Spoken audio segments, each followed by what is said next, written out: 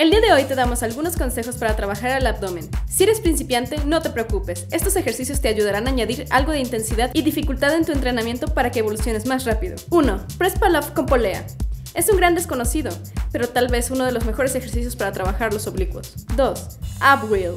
Si todavía no eres capaz de llegar al final, colócate frente a una pared para que se limite el movimiento y progresivamente te vas separando de la pared mientras vayas dominando el movimiento. 3. Leñador o wood chopper que también se puede realizar completamente horizontal o yendo de la parte baja a la superior. 4. Abdominales en polea alta. No es necesario usar una carga elevada en este ejercicio, simplemente debemos de notar la contracción muscular en cada ejercicio y priorizar una técnica correcta. Y no te olvides de buscar tu color DNA en nuestros videos para seguir nuestras recomendaciones y que tu evolución física llegue al máximo nivel.